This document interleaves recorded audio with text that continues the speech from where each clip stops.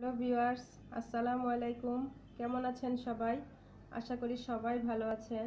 আমিও আলহামদুলিল্লাহ ভালো আছি। আজকে আবারও চলে আসলাম আপনাদের সামনে আরও নতুন একটি রেসিপি নিয়ে। আজকের রেসিপিটি আমি তৈরি করিনি। আজকের রেসিপিটি করেছে আমার মেয়ে। সে আজকে আপনাদের জন্য নিয়ে আসছে একটি চকলেট কেক সে আজকে প্রথম কেক বানালো। ফার্স্ট ট্রাই করেছে। যেরকমই হয়েছে, আলহামদুলিল্লাহ। তো বন্ধুরা দেখুন কীভাবে আমার মেয়ে আজকে এই কেকটি তৈরি করল। ভিডিওটি দেখার আগে যারা আমার চ্যানেলটা সাবস্ক্রাইব করেছেন, তাদেরকে অসংখ্য ধন্যবাদ। আর যারা করেননি, তারা প্লিজ করে ফেলবেন। চলুন বন্ধুরা, দেখে নিই কীভাবে এই কেকটা সে তৈরি করল। তো চলুন দেখি কীভাবে আমার মেয়ে আজকে এই কেকটা বানাচ্ছে। প্রথমে সে দিয়ে দিচ্ছে এখানে এক কাপ পরিমাণ ময়দা।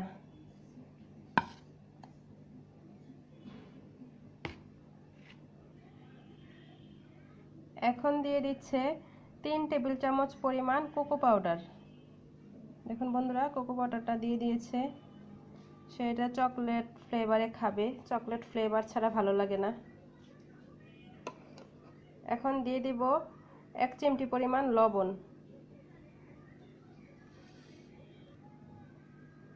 দিয়ে দিয়ে দিল পরিমাণ মতো লবণ। এখন বন্ধুরা, এই সবগুলো উপকরণ একসাথে আমি একটা ছাকনি দিয়ে চেলে নিব। চালনি দিয়ে চেলে নিব। দেখুন বন্ধুরা, ময়দাটা এবং কোকো পাউডারটা একসাথে চালনি দিয়ে চেলে নিয়ে আসছে। এখন আমি নিয়ে নিয়েছি দুইটা ডিম। এই যে দুইটি ডিম, রুম টেম্পারেচারে থাকা, যদি ফ্রিজে থাকে অবশ্যই আধা ঘণ্টা আগে বের করে রাখবেন। এখন ডিমগুলোকে ভেঙে আমি একটা বাটিতে নিয়ে নিচ্ছি। দেখুন বন্ধুরা, দুইটা ডিম সে ভেঙে নিয়ে নিয়েছে।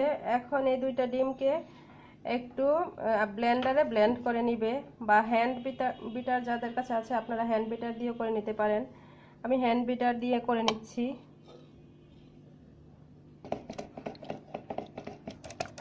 দেখুন, ডিমটা কিন্তু সে বিট করে নিয়েছে অলরেডি অনেকটাই বিট হয়ে গিয়েছে। দেখুন, অনেকটা ফেনা ফেনা হয়ে গিয়েছে। এখন এটার সাথে দিয়ে দিবে পরিমাণ মতো চিনি। এক কাপ পরিমাণ চিনি দিবে। দিয়ে দিল চিনিটা। এখন আবারও বিট করে নিবে।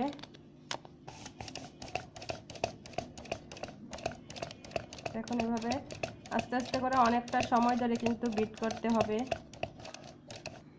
এখন দিয়ে দিচ্ছে হাফ চা চামচ পরিমাণ ভ্যানিলা এসেন্স।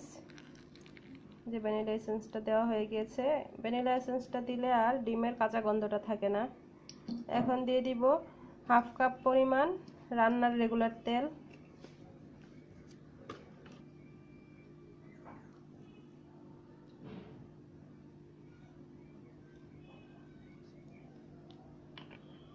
দেখুন, তেলটা কিন্তু সে দিয়ে দিয়েছে। এখন এই সবগুলি উপকরণ আবারও কিছুক্ষণ ভিট করে নেবে। দেখুন বন্ধুরা, সে ডিমটাকে বিট করে নিয়েছে পুরোপুরি। এখন এই ডিমটার মাঝে যে ময়দাটা আর কোকো পাউডারটা চেলে রেখেছিল, সেই ময়দাটা অল্প একটু একটু করে দিয়ে দিবে। অল্প একটু একটু করে দিয়ে মেশাতে হবে। যে প্রথমে অল্প একটু দিয়ে দিল। এখন এটার সাথে দিয়ে দিবে এক চা চামচ পরিমাণ বেকিং পাউডার। দেখুন, বেকিং পাউডারটা দিয়ে দিয়েছে। এখন এটাকে একটা চামচের সাহায্যে অল্প অল্প করে মিক্সড করে নিতে হবে। এটা কেউ তাড়াহুড়া করে করতে যাবেন না। অল্প অল্প অল্প করে একটু সময় নিয়ে মিক্সটা ভালোভাবে করবেন। তারপরে আবারও অল্প একটু একটু ময়দা দিয়ে মিক্স করে নেবেন। দেখুন বন্ধুরা, সে একেবারে ব্যাটারটা রেডি করে ফেলেছে। ডিমটার সাথে কোকো পাউডার এবং ময়দাটা যে মিশ্রণটা ছিল, এটা দিয়ে একেবারে ব্যাটারটা রেডি। এখন সে চলে যাবে চুলায়। কেকটা বানাতে। আজকে সেই কেকটা চুলায় বানিয়ে নিবে।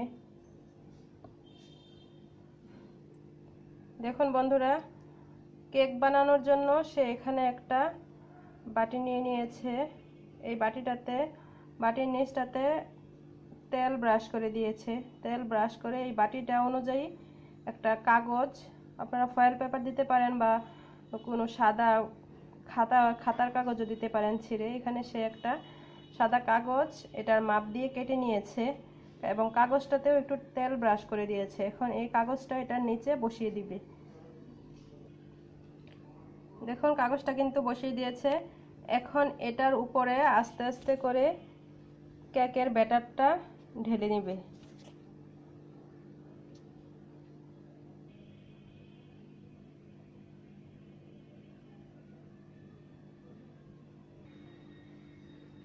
বন্ধুরা দেখুন, মিশ্রণটা কিন্তু ঢেলে দিয়েছে।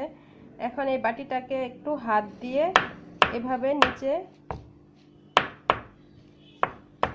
এভাবে করে নেবেন, যাতে করে একটু বাড়ি দিয়ে নেবেন এভাবে, যাতে করে ভিতরে থাক, যে বাবলসটা আছে সেটা বের হয়ে যায়। এখন চলে যাচ্ছি চুলায়। দেখুন, চুলায় কিন্তু একটি পাত্র বসিয়ে দিয়েছে হাড়ি। এই হাড়ির মধ্যে একটা স্ট্যান্ডও দিয়ে দিয়েছি।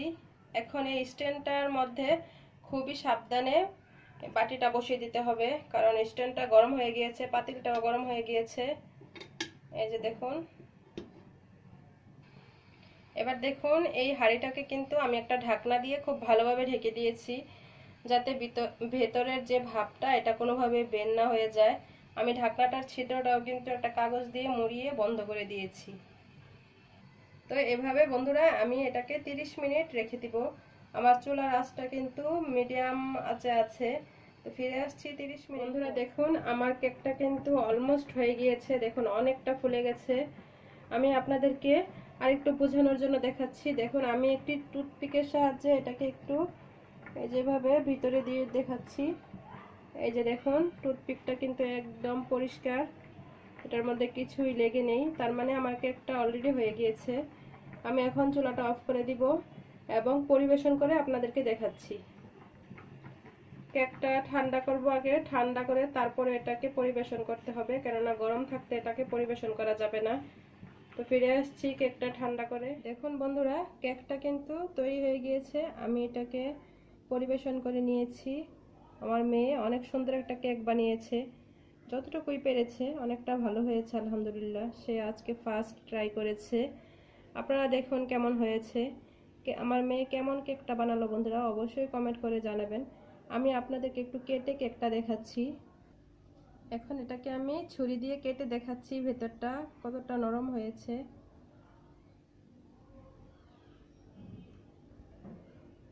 দেখুন, কেকটা আমি কেটে নিয়েছি। ভেতরটা এই যে অনেকটাই সফট এভাবে দেখুন। অনেকটা সফট হয়েছে। তো বন্ধুরা আপনারা অবশ্যই বাসায় ট্রাই করবেন। আর কেকটি কেমন হয়েছে অবশ্যই কমেন্টস করে জানাবেন। আজ তাহলে এ পর্যন্তই। সবাই ভালো থাকুন। আল্লাহ হাফেজ।